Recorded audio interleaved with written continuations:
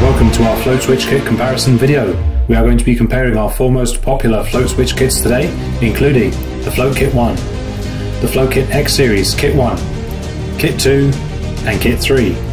And you want to make sure you stick around until the end of today's video because someone is in with a chance of winning a free kit of their choice. All you've got to do is follow the instructions coming up at the end. So without further hesitation, we're going to dive right into our comparison, starting with Float Kit 1, also known as the FK1. And just a note, you want to pause to take a look at any additional notes on the screen because there is a lot coming up. So, Float Kit 1, we have got a circuit board with a very affordable price tag, coming in at approximately 20 US dollars. This one has polarity protection on the input, it's got protection for the float switch, however, it's got a limitation on how long the cable can be on the float switch. That's up to 2 meters is the recommended maximum. We have got up to 10 amps switching capacity. We've also got a direct throughput. What the float switch does, the output also does within 20 milliseconds, so it's very fast response time, perfect for sumps and aquariums and small tanks where the water does not move much.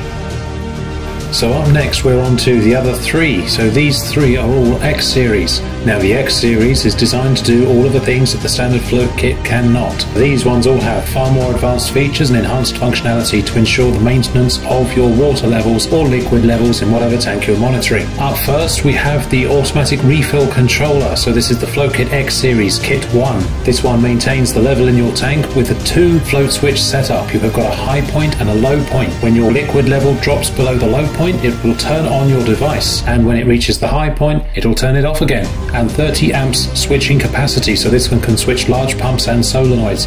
You can also have it turn devices off, you can have it send signals, and this one, of course, has the added advantage of optical input protection on both switches and the ability to resist waves.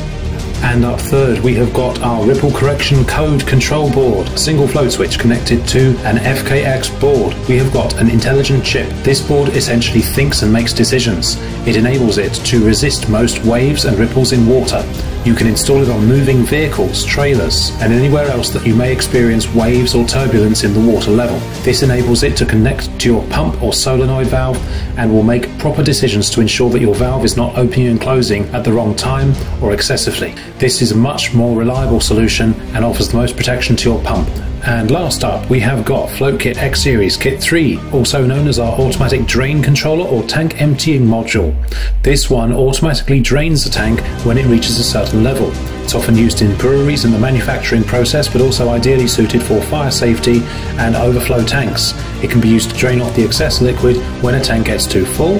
It can also be used to pump liquid around or also operate heating elements or other controllers. It has switching capacity of 30 amps just like the other X series boards, carrying a price tag of approximately 40 to 50 US dollars. This kit is ideally suited for the manufacturing process, industrial automation, and safety and cleaning equipment. So just to summarize, we have shown you four different float switch kits, three of the X series ones and one standard.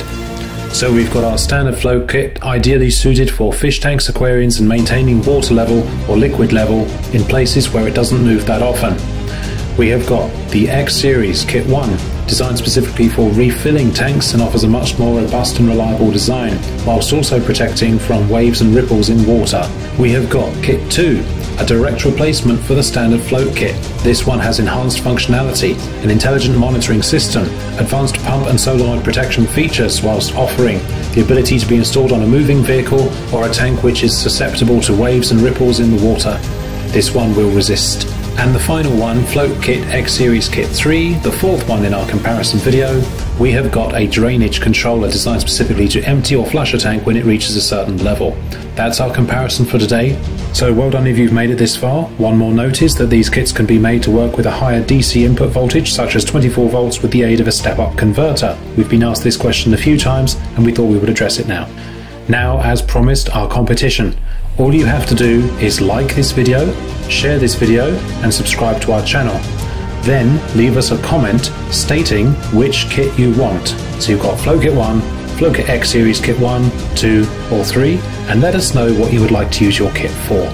Your name will then be entered into a raffle, and if your number comes up, you get your kit. We will announce it in the next video or in the comments. We hope this video has been helpful to you, and we will see you next time. Goodbye.